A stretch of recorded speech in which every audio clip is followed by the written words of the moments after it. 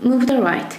Enfren LED lamp was designed to make the right move to give a pleasure for a short while to those who got tired of the daily routine such as study and business, etc. Number one, high intensity and brilliant white LED. White LED consume up to 90% of electronic electric power of which only a small portion is converted to white. Uh, incandescent bulb 5% and fluorescent bulb 40%. Number two, free moving LED module.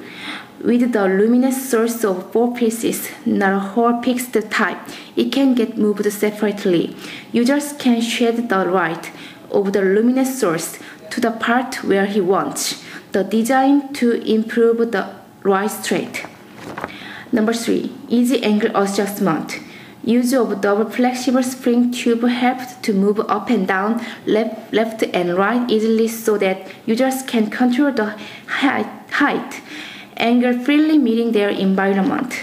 Number four, touch sensor and dimming function. It adapts a dimming function which is available to control three-stage brightness so that it can be adjusted against the using environment of the users then reduce the fatigue of the eyes.